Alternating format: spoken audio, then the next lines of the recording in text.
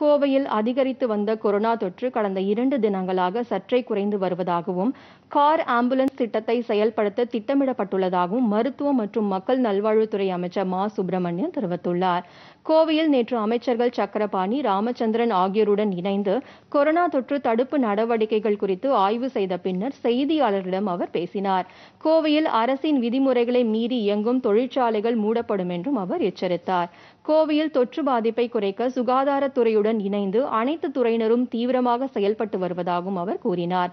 தளர்வுகளுடன் இயங்கி வரும் தொழிற்சாலைகள் கண்காணிக்கப்பட்டு வருவதாகவும் மிதி வீரர்களில் ஈடுபடுவது தெரிய வந்தால் அந்த தொழிற்சாலைகள் மூடப்படும் என்றும் அவர் கூறினார். முன்னதாக நடைபெற்ற ஆய்வுக் கூட்டத்தில் மாவட்ட ஆட்சித் தலைவர் மற்றும் மருத்துவக் கல்லூரி முதல்வர் உள்ளிட்டோர் கலந்து கொண்டனர்.